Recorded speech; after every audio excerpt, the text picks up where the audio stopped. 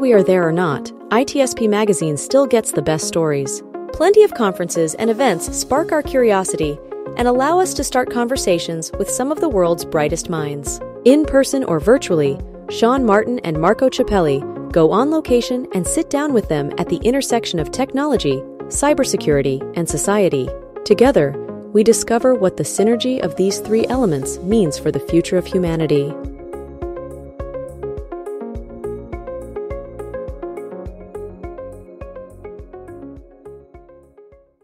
Right, here we are. You're very welcome to a new brand story here on ITSP Magazine, where we get to cover all kinds of cool topics and new findings and new launches here at, I'll say Black Hat, because we are Black Hat. And uh, yeah, I'm thrilled to have Mark Lambert on from ArmorCode. Mark, thanks for joining me. Yeah, thank you very much. Pleasure. So it's, a, it's always a good time, and it's a lot of stuff going on. Yeah. A lot yeah. of stuff going on.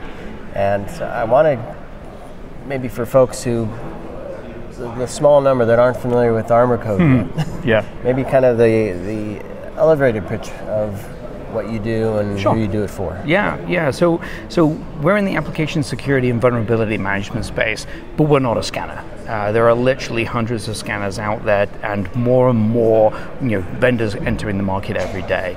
Um, and that's the challenge that we focus on solving. So what we do is we connect into an organization's existing tool ecosystem, ingest that data into our platform. We normalize it for visibility. We prioritize it with contextual risk scoring, and then we enable organizations to automate their remediation workflows downstream. So the Armor application security posture management platform provides all of these core capabilities across use cases such as application security, vulnerability management. Risk-based vulnerability management is a term that many organizations understand, um, and then also software supply chain as well. Okay.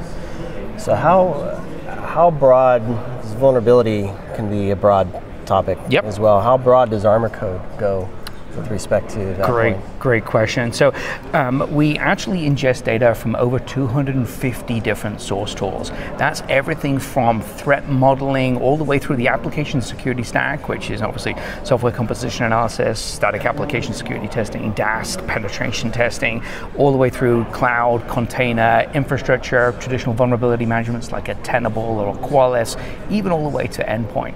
Uh, we bring all of that data, we integrate with threat uh, intel feeds. We have our own threat intel feed as well as implement, integrating with open source such as CISA bringing in EPSS data, as well as integrating with commercial feeds like uh, Mandiant or, or VulDB as well. Um, so you, the, you you asked me kind of like what's the breadth? You know, Right. it's pretty broad, um, and it's not just CVEs. So when people think of vulnerabilities, they Right, that's the normally thing. default to a CVE. Um, you know, that's obviously a published vulnerability. We can leverage threat intelligence there to further do additional risk scoring of that of that context.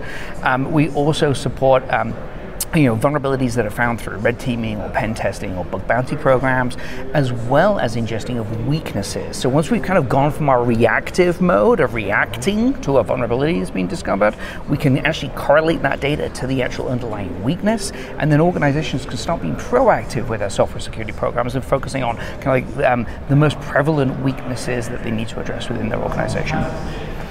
So, in terms of getting visibility, uh, so all those sources, um, the breadth up and down for the, the content that you're collecting and ingesting, and, and I presume pa- painting a picture of what Yep. that looks like.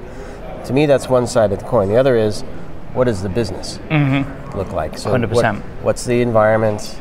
What sector are they in? What tech, kind of with your threat intelligence? So, uh, that other side of the coin, how, how do you work with that? Yeah, so so really when we talk about risk and understanding the risk associated with a finding, it could be a vulnerability or a weakness, um, there's a context that goes along with that, which is your business context. So when we talk about risk scoring, there's the technical risk of the thing that's found, and then the contextual risk or the business impact or the business importance of where it is found.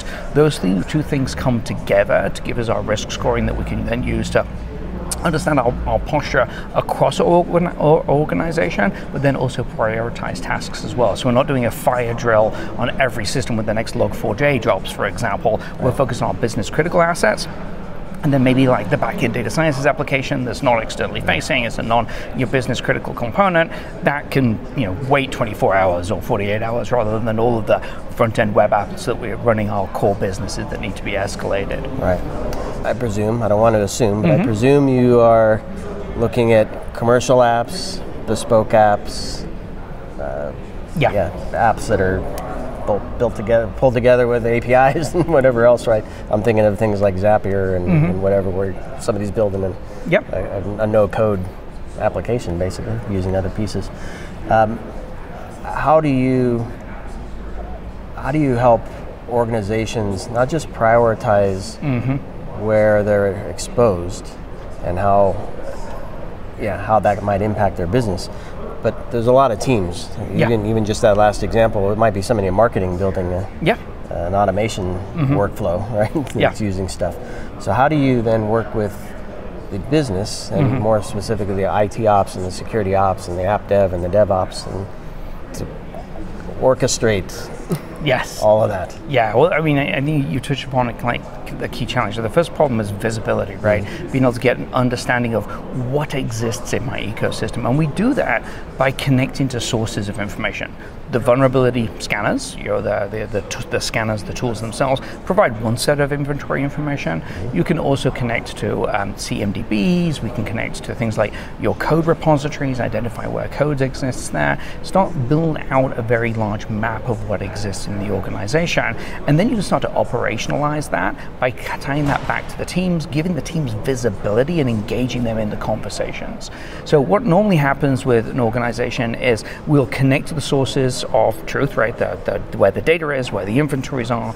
Uh, we'll bring all of that data together into the platform, start applying the risk scoring, and identifying the things that need to be prioritized, and then it gets handed over for remediation to the development teams. And often, this is where you start getting more engagement with the development teams through things like integrations with Jira, for example, right. and that further refines the process and increases the escalation.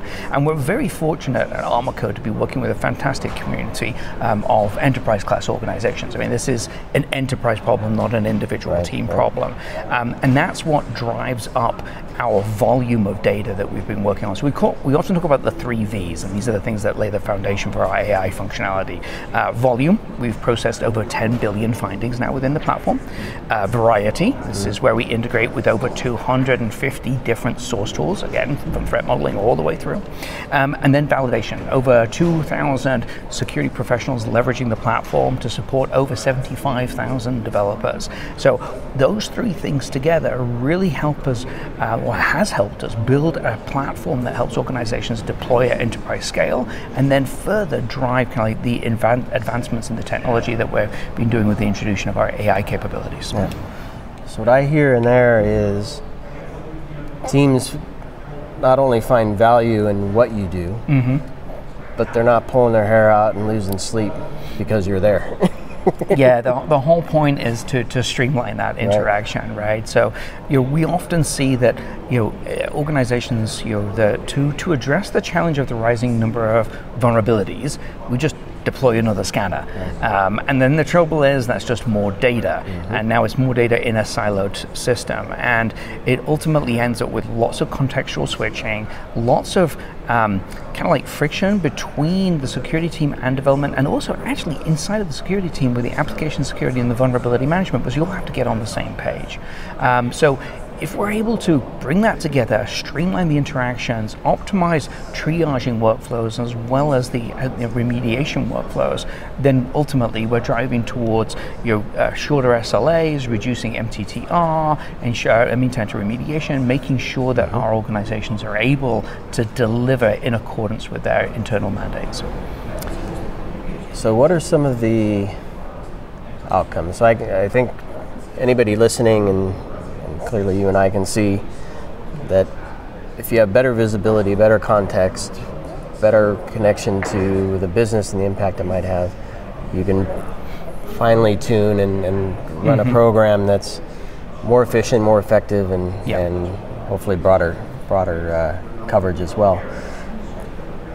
The other side of that, though, mm-hmm. is the benefit to the team, mm-hmm. the benefit to the program, benefit to the business. Um, any nuggets you can share on how customers kind of speak to the Yeah. value that they get beyond just a mean time to Yeah, detect and respond? Yeah, I mean that usually is one of the biggest key areas, right? So you know, um, it's not just the the mean time to response, though. It's also kind of like um, there's insecurity. We have this uh, zero tolerance, right? It's like, hey, we have to fix everything. Um, so, but as we know, the volume of findings and vulnerabilities is just growing exponentially. So we're never going to fix it all. But if we can burn down our debt, if we can proactively identify areas of opportunity for us to protect the business, we're fundamentally reducing our organizational risk. Now, that's a that's a soft benefit. It's difficult to quantify that, um, but being able to demonstrate that progress, demonstrate the ability to, that you're burning through your backlog, and that you have optimizations in place, and a lot of those optimizations are driven through the capabilities such as you know, AI correlation and AI remediation within the platform to streamline that. So this is a question I ask often, but only when I feel that the conversation lends itself well to it, and I think this one does. I have a personal belief, based on experience of stuff that I've done over decades, that security with the right information and the right mindset can actually change the business to reduce the impact the business has on security, if that makes sense. The example might be we have these five systems that we're running, Yep. And they all, every month, they have five new patches or 10 new patches, 100 new, whatever the number is. And we're just spending a ton of time over and over and over. If we could just change that system, or if it might be a workflow or a business process or application or whatever, if we can change that, we're going to reduce the number of findings, reduce the exposure, reduce the time to re- response because we're going to eliminate it because mm-hmm. we're not, we don't have this vulnerable application or system in place anymore. So your thoughts? Well, do you believe that that's possible? and, and if so, have you experienced anything with customers that might lead to that So, scenario? so I, I think it is. Um, I think it's a goal. Okay. Okay. So um, there are a number of things that need to be in place for us to be able to really, kind of like respond in, a, in almost a fully automated way. So I mean, the, the first thing I would say is you're right, we touched upon this a moment ago, right? Is the business setting the priorities from the point of view of hey, this is these are my crown jewels, and I see that in you know most enterprise class organizations, especially those in the financial services sector, they will have their set of crown jewels. These are the high value targets that we have to protect at all costs. We're going to define our SLAs there, but everything else we're going to like let you guys figure it out and do it in your own in your own time frame. That's one of the ways that business can help security without kind of like getting in in, in, in the way, if you like. Right. Um, one of the things ultimately that a lot of people talk to me about is can you do fully automated remediation? So can I just let the machine self heal itself? Um, and, and there, there's a really, you know, the short answer to that question is yes, if you had a fully functional validation, which nobody has. Okay. But what you can do is you can optimize the process to the point where the human's involved. So, you know, one of the things, for example, is like automated, you know, injection of, uh, you know, fixes to code, uh, which are application security centric. Not something we do at ArmorCode, but something that our partners do, like a Mobb Security, for example. Um, you know, however, that code still needs to be reviewed by a human being. But if you can get it ultimately to the end, that review time is is less. Okay, Maybe, maybe this is probably more connected to some of the stuff that you've recently released uh, in your platform. So maybe, maybe. Yeah. highlight some of that work now. Sure, sure. So I, I touched upon the three V's, right? Uh, volume, variety, and validation. And that, you know, we're, as I said, we're very fortunate at ArmorCode. We've been working with some amazing enterprise class organizations, which has really kind of like set us up to have a great community. We're identifying real uses of AI that can be used to remove those bottlenecks in the process. So actually at RSA this year, we released our AI correlation, which gives us the ability to correlate findings across tools using data fusion. Um, we've done cross-tool correlation in the industry for decades. You know, basically take an attribute, find the same attribute across the Right. different tools. The problem, though, is if you're trying to cross a different scan type, so again, the variety, um, it's very difficult to correlate something like a DAST finding with a SAST finding. So, you know, dynamic testing and static testing. It's difficult to correlate runtime container with the underlying software composition analysis data. What AI has done is it's unlocked the ability for us to uh, understand the context of a finding and start to do classification and labeling so that we can actually start to bridge that information together. Right. Um, so that's what we released at RSA. What we're releasing here at Black Hat is our AI remediation um, at a level above the individual scanner, really helping organizations with a strategy for how mm. to address not just this issue, but the other issues that are related to them as well. So, you know, a lot of times we talk about automated remediation, it's very tactical, it's hey, give me the line of code that updates this thing. Um, and, you know, we give some of that information, our remediation guidance as well, but we're going beyond that to say, how can I prevent the impact of something similar to this in the future? So, what's mm. my priority two, three, and four strategies rather than just update a library? So, it's a little right. bit kind of like reducing the risk of the whack, you know, playing whack a mole with right. the next you know, Log4j or what have you. Yeah. And I, I suspect if somebody or multiple really smart people sat down, they might be able to do that. Mm-hmm. Yeah. But it would take a heck of a long time. And, and, and resources are constrained. Yeah. The, the findings are piling up. So leveraging technology to, to do that is great.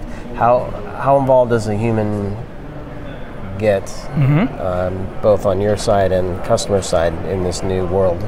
Well, you know, what's really interesting is that you know when when when AI first came on the scene on, on this le- on the most recent wave that we're having, um, you know, everybody's like, well, okay, you know, chat, um, you know, uh, GPT is going to take my job, right? Well, it's not. Anybody that's used it knows that you have to. It's a tool, right. and it's a tool that's going to make you more effective. It's also a tool that can elevate uh, members of the team that maybe aren't as skilled, um, and really, you know, the way I view the capabilities we've introduced inside of ArmorCode, it really is like like a, a security assistant or a, a, virtual security champion. You know, elevating and identifying kind of like, hey, this finding is correlated with these other ones. Rather than you having to sift through all the data, it's giving you kind of like the needles in the haystack rather than the whole haystack. The remediation is like rather than having to do Google searches or building, mm-hmm. you're going through trainings as to how to do a you know, remediation strategy. It's right there in the platform and it's generated based on an LLM that's contextually trained upon what these vulnerabilities and weaknesses are, what the best practices are, um, and then then that gives you a, a tool that ultimately, if you're an expert, reduces your time, and if you're you're not an expert but part of the team, you're able to start elevating. I love that term, virtual security champion. Yeah, that's really cool. That's really cool. Well, Mark, it's been a pleasure chatting with you. I don't know, is there anything else that we didn't touch on that you want to highlight? I, you know what? I think there was some some findings as well? Yeah, I mean, I, I think that the, the one thing that I'll, I'll kind of like highlight is you know the, the adoption of the AI capabilities have been you know significant within the customer base. We actually have uh, over 90% adoption of the correlation functionality. Over six models have been now been deployed correlating different types of things. I think we're really at the point now with AI that we're beginning to see real world business benefits. Mm. We're kind of beyond the hype phase, at least I hope so, right. um, and we're getting into that phase where we're actually able to leverage it for meaningful uh, outcomes. Ninety percent. That's impressive. It's impressive. Well, Mark, thanks very much for uh, taking this time and uh, sharing this Code Armor story with us. Yeah. And uh, best of luck to you at the show. Uh, if you're listening to this while you're at Black Hat, be sure to visit uh, Mark and team down at the Code Armor yep. booth. and if not, connect with Mark and team on LinkedIn. We'll, we'll of course include links to to connect with them on LinkedIn and uh, on their website. And I know you have some campaigns running as well, so yes, we'll share indeed. all that stuff too. So thanks everybody. Thanks, Mark. Great. Thank you very much. Looking forward to the next time.